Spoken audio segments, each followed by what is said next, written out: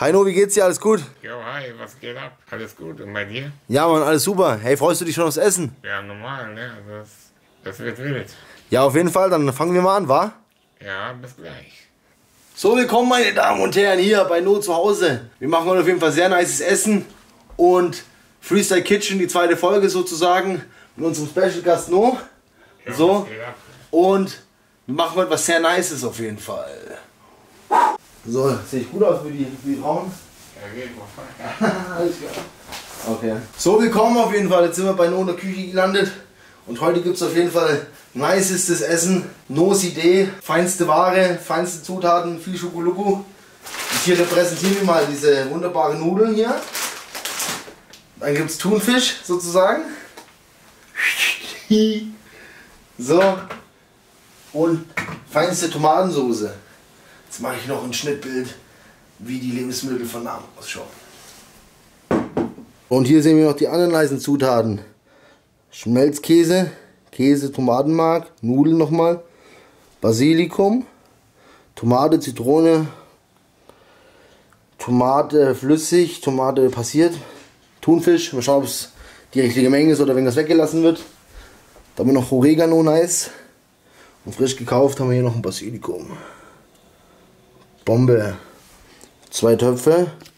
Und dann würde ich sagen, los und der Tag wird uns. Carpe diem. So, dann beginnen wir mal mit der großen Freude des Lebens. So, da kommt jetzt erstmal Wasser rein in den Diegel. Bayern sagt man zu Diegel. Metalltauch, das ist Diegel. Mal Wasser neu.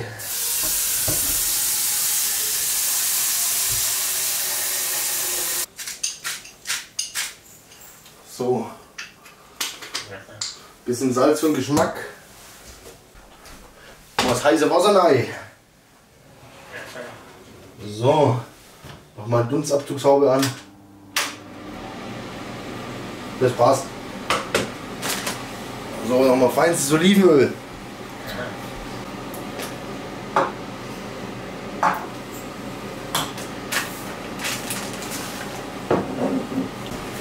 So, dann schneiden wir mal die gewaschenen Tomaten sozusagen. Nochmal.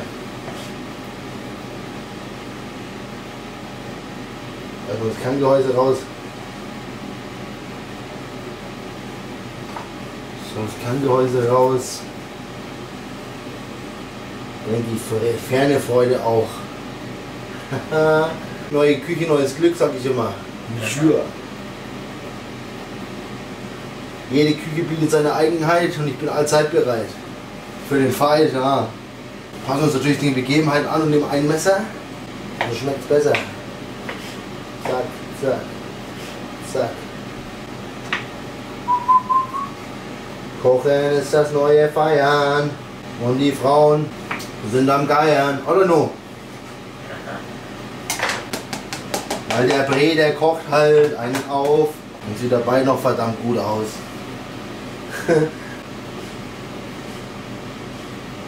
Das ist so eine Freude für die Leute von heute. Hä? Ja?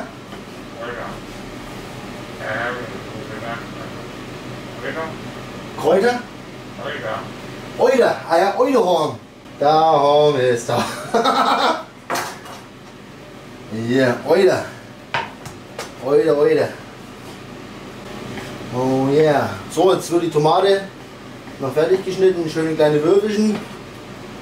Aber die kochen noch schön ein. Das heißt wiederum, dass sie auch breich werden, dass der No auch sagen kann, der Genuss ist auf seiner Seite heute Abend. Ja? Wir müssen nämlich bedenken, dass wir mit besonderen Menschen zu tun haben und besondere Menschen brauchen besondere Kost. Na? Nicht nur kostspielig, auch sondern leidenschaftlich sozusagen. Das ist so wunderbar. So, ich glaube die längsten Tomaten, die ich hier geschnitten habe. Jetzt haben wir die Tomaten. Jetzt kommt das Zwiebelchen. Kommt ein Zwiebelchen. Jetzt kommt das Zwiebelchen noch.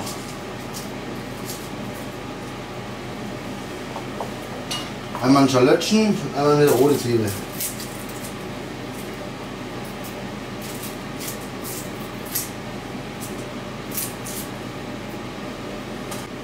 Jetzt kommt feinstes Olivenöl in den Topf. Eine Freude der Natur. So ein bisschen rein. Ein schönes Olivenöl für die Freude in uns. So, dann kommt das Zwiebelchen. So, unser Bruder, Zwiebelchen. Zack, zack, zack, zack, zack, zack, zack, zack, zack, zack, zack, zack, und zack, zack, und zack.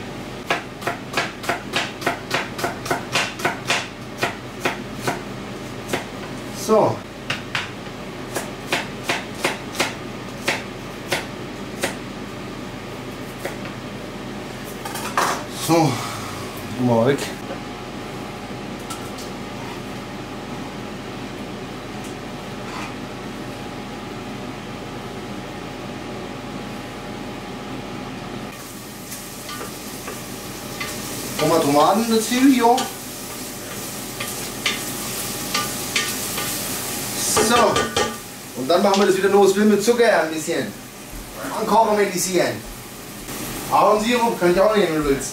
Ein Tropfen. Alles klar. Kommt das Tomätchen dazu. Für die Ladies. Dass wir die Freude nicht einkochen. Dann kommt ein Tropfen Ahornsirup rein.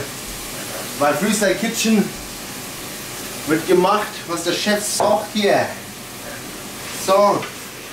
Du wirst schon einkochen lassen hier die Frauenspezialität. So. Dann müssen wir einschmoren.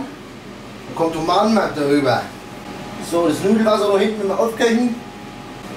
So, und jetzt müssen wir erstmal die Tomaten hier einreduzieren. Ich zeige mal in die hinein, wie es ausschaut. So, jetzt muss die Freude erstmal einkochen. Damit sie eine gute Sämigkeit, schon mal eine Grundsämigkeit und die Tomaten den Geschmack entfalten können. Ja. Wie man sehen kann, so sieht es dann von unten aus hier. Wenn man das Gewinde wieder dann no. So, ein Kochen hier, kommt den Tomatenmark hin, damit intensiver schmeckt. Noch ein bisschen mitrösten, ein bisschen einschmoren. So, und schön einkochen hier. Die oh, das, no, das wird super. Das wird wunderschön. Da kochen wir einen auf halt. Nebenbei ein bisschen Pizza, oder? Ah, und ich nehme den Ahornsirup. Das verstärkt die Wirkung und lindert den Virus. Äh, einen Tropfen. Darauf können wir hoffen. Hey, ich glaube, der war offen. Verlocken. Jetzt reduzieren wir ein für den Geschmack, der spirituell angehaucht. Kein Problem, ich habe einen Krankenbauch und feiere diese Sachen auch. Yeah. ich möchte niemals die Show stehlen, aber diese Nummer ist die Kronjuwelen. Kann den Ton heben, kann den Flow geben. Die Dose Thunfisch, sie ist noch verschlossen. In 0, nix, ja, yeah, ist sie offen. Ich bin der krasse G, bekomme Appetit, bin krass verliebt in diesen krassen Beat. Ich bräuchte jetzt nur noch einen kleinen Sieb. Dann kann der Thunfisch sich trennen und ich bin auch verliebt. Währenddessen am Köcheln. Pitches sind am Röcheln. Äh, ja. Das lassen wir mal. so, eine leichte Salznote schon mal. Machen noch ein bisschen Super Paprika rein für die Süße. Edel süß. Ein bisschen. Dann kommt noch ein bisschen Knoblauch. So. Jetzt kommt ein bisschen Pfeffer rein. Ich glaube, dann wird es lecker sein. Das ist nun ein krasser, ein krasser Member von diesen Plattenhändlern. Äh, ja. So. Das Bredel kann man auch mal wegräumen. Ja Mann, das wird krass. Das hat Geschmack und gibt Kraft in der Nacht.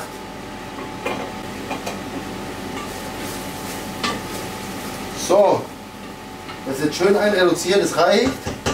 Und jetzt kommt der Thunfisch im eigenen Saft hinzu. Bisschen klein machen noch.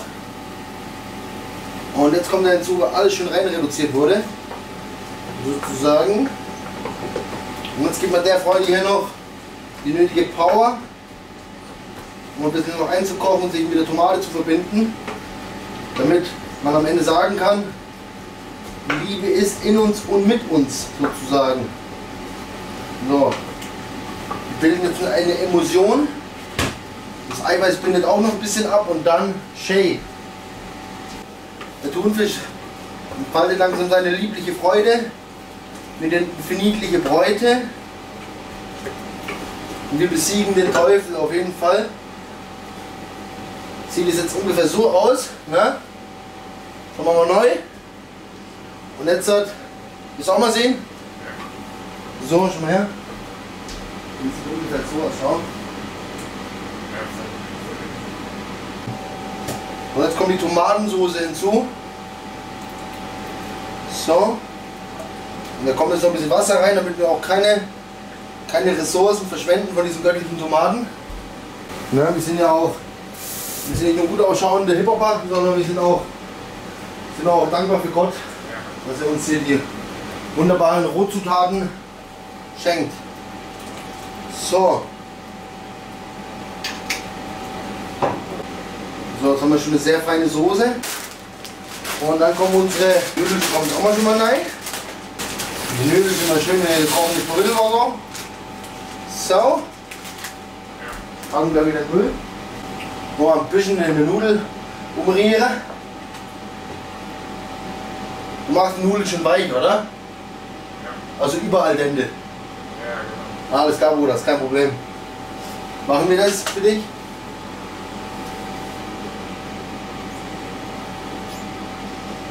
Probieren wir mal.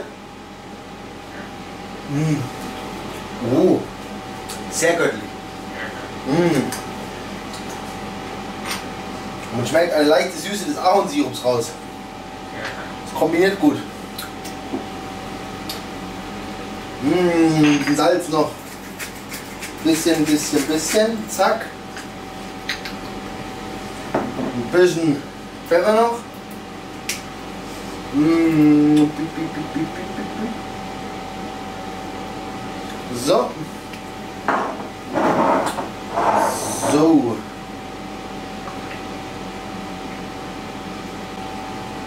Normale Menschen würden sagen, Kräuter müssen gejagt werden. Erwin sagen, Kräuter müssen ganz rein.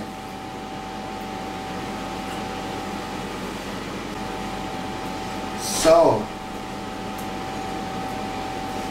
Bisschen, Nudeln noch, bisschen rein, bisschen Kräuterlis noch.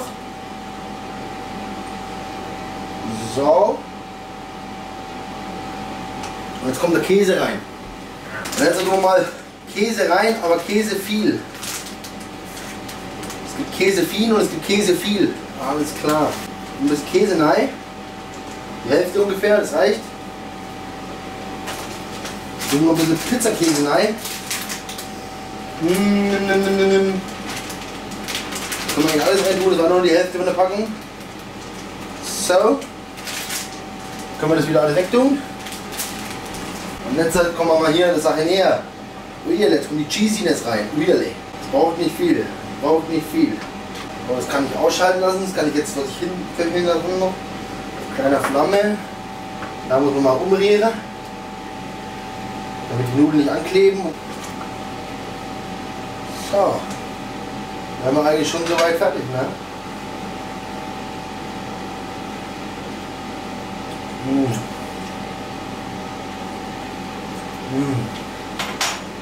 Oh yeah. Oh yeah. Oh yeah. Jetzt kommt noch die Zitrone, Alter. Chocky Selman. So, die Zitrone haben wir in der Hand, weil wir auch ein bisschen Verstand haben. Natürlich langsam wegen Fingerschneiden und so. Voll gerollt, damit die Säfte entfleuchen. Kerne sind da auch drin. Okay, okay, okay. Ich mache den, mach den 1A-Trick, Mann. Ich will den Nudelsieb und dann den Saft rein. Spare ich mir eins in, eins in allem. Kerne raus, Saft kommt rein. Praktisch, Freestyle Kitchen will come. Oh yeah. Oh yeah. Oh yeah. Oh yeah. Oh, ist geil, oh, ist geil. Das kommt schön rein. Das kommt rein. Das kommt jetzt alles rein, der ganze Saft. Drei Wetter Taft. Bei der Energiebombe, Alter, da geht nicht auch noch. Wir mal ein Nudelchen nebenbei. Mhm. Mhm. So, ausmachen. Passt. Zitrone weg. Ist fertig. Nochmal verrieren nochmal. Oh yeah. Oh yeah. Abwasche. So, wir werden langsam am Ziel angelangt. Jetzt werden die Nudeln abgesiebt. Uh, sieht das Ganze jetzt aus von oben. Wenn Sie die Nudeln umziehen, müssen absieben, weil sie zwischendurch matschig werden. Nur macht schön weich, alles klar, kein Problem. So, sind die Nudeln abgesiebt. Mit einer Strategie, sonst ist es Blasphemie.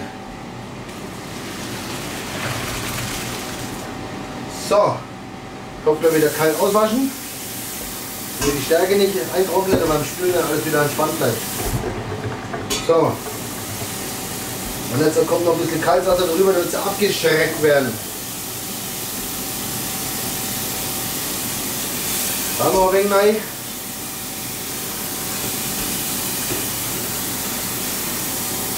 Oh yeah. Oh yeah, der Shit, Mann. Der Shit, Mann. Aber nicht zu stark, weil die Nudeln kalt werden. Nur leicht. Damit es dann nicht reißt. Damit sie nicht, damit sie nicht bappen und damit sie auch nicht kalt werden fürs Mal. Mhm. Oh ja.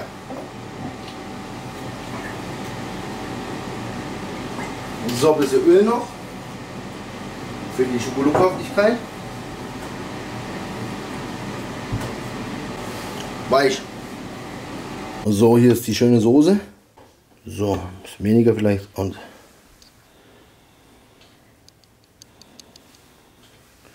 so ein bisschen. Oh yeah.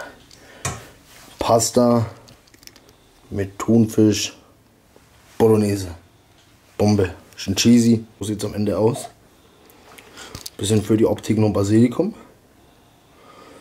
Und dann ab in den Magen damit. Mhm. Gut? Mhm. Sono, und wie fandest du es jetzt bisher? Hast du geschmeckt? Auf jeden Fall. War das sehr, sehr lecker. Ja, sehr würzig auch, ne? aber ist immer schön.